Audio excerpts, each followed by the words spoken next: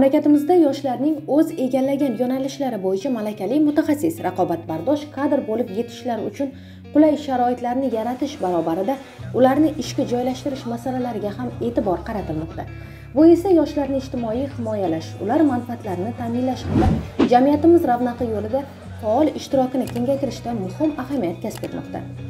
Mazkur yo'nalishda termiz muhandislik texnologiyalari institutida mehnat yarmarkasi va karyera kuni tashkil etildi.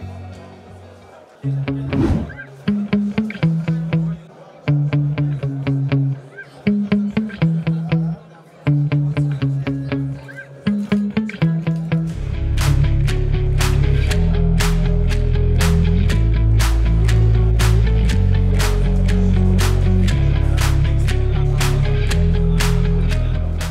Termiz muhandislik texnologiyalari institutida mehnat yarmarkasi va karyera kunining tantanali ochilish marosimida so'zga chiqqanlar.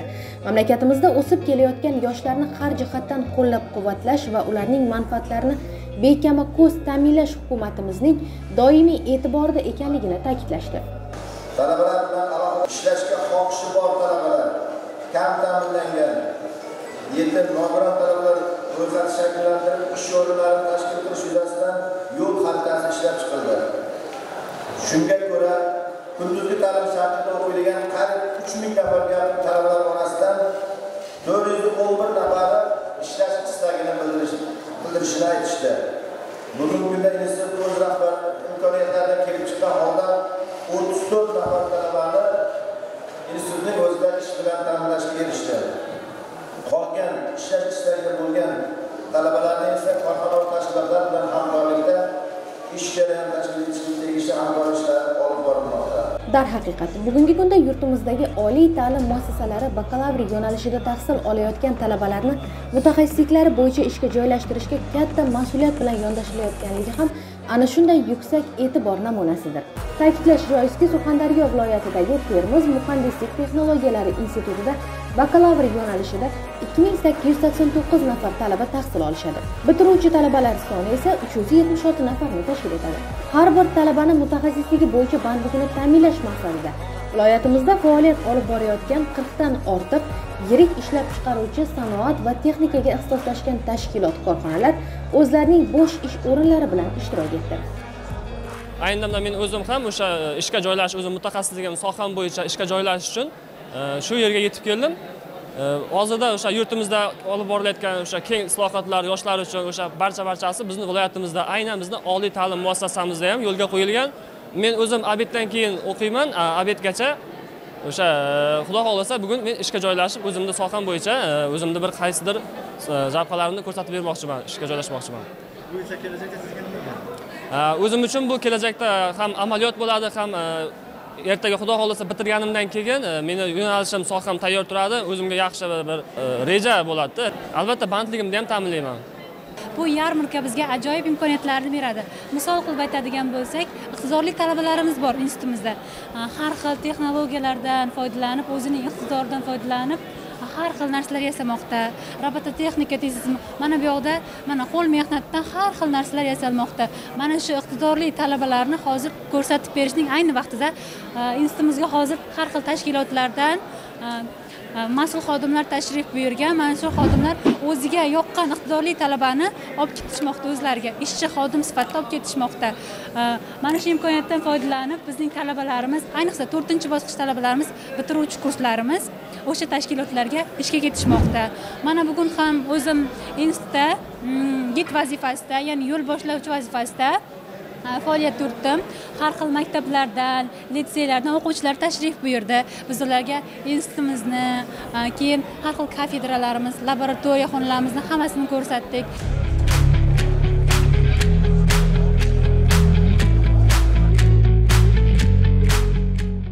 Bu tadbirlarga viloyatimizdagi katta katta yirik sanoat korxonalari ishlab chiqaruvchi davlat tashkilotlari xususiy kooperatsiyalar xo'jalik birlashmalaridan qirq beshdan ziyod E, tashkilot rahbarlari e, qatnashmoqda mas'ul xodimlar bandlikka ko'maklashish markazi bilan hamkorlikda bu ishlar qilingan va e, bu yerda ko'pgina talaba yoshlarimiz o'zlarini sohasiga oid bo'lgan ishlab chiqaruvchilar bilan o'zlariga ishga boradigan bo'lsa yaratilgan shart sharoitlar to'g'risida ular bilan tuziladigan mehnat shartnomalari to'g'risida ularni xususan moddiy jihatdan ta'minoti to'g'risidagi ma'lumotlarga ega bo'lib eng muhim kelishuvlarga shartnomalarga imzo chekishdi.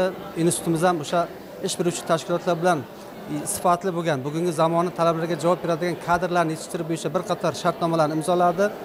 E, va bu tadbir menimcha e, bundan keyin ham viloyatimiz miqyosida barcha ishlab chiqarish tashkilotlari bilan ko'proq o'tkazish kelishib olindi. Zero prezidentimiz shavkat mirziyoyev aytyaptilarki bugungi kunda har birinchi kursdan boshlab talabalar bandligini ta'minlash masalasini har bir oliy ta'lim muassasasiga va har bir ta'lim muassasasini oldiga vazifa sifatida qo'ydilar va o'zlarini sohasidan kelib chiqib yoki o'zlarini qiziqtirgan sohasi yoki o'zlari kuchliroq biladigan sohalarga talablarni biriktirish ularni bandligini ta'minlash va shu orqali eng muhim ularni mm, iqtisodiy tomondan o'zlari ma'lum bir manfaatlar ko'rishligiga erishish asosiy ustuvor vazifa sifatida qo'yilmoqda. Shu nuqtai nazarda bugun karyera tadbirlari mehnat yarmarkasini biz institutimizda tashkil qilib berdik va bundan hamma menimcha o'ziga tegishli bo'lgan manfaatlarni olishdi.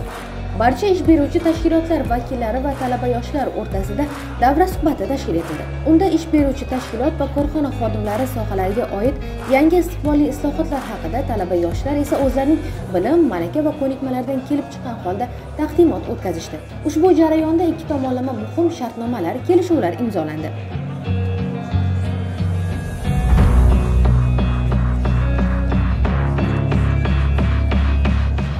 Bugungi kunda institutimizda muhtaram prezidentimizning tashabbusi bilan amalga oshirilgan g'oyalar talabalarni bo'sh vaqtini mazmun o'tkazish ularni bandligini ta'minlash maqsadida institutimizda surxondaryo viloyati hokimligi bandga ko'maklashish jamg'armasi bilan hamkorlikda birgalikda mehnat yarmarkalari tashkil qilingan.